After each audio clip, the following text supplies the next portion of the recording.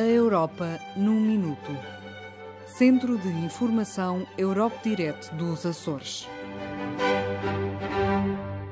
As autoridades e as organizações de consumidores da União Europeia têm recebido um número crescente de queixas de consumidores vítimas de fraudes ou burlas quando utilizam os sítios web dos médias sociais ou que se veem sujeitos a determinadas condições de serviço que não respeitam o direito europeu dos consumidores.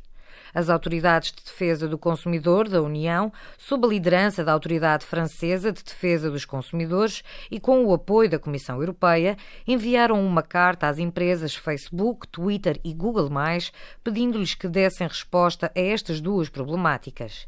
Este mês, as autoridades de defesa do consumidor da União e a Comissão reuniram-se com estas empresas para ouvir e discutir as soluções que apresentam. As empresas comprometeram-se a apresentar em breve medidas para assegurar o respeito do quadro regulamentar da União Europeia.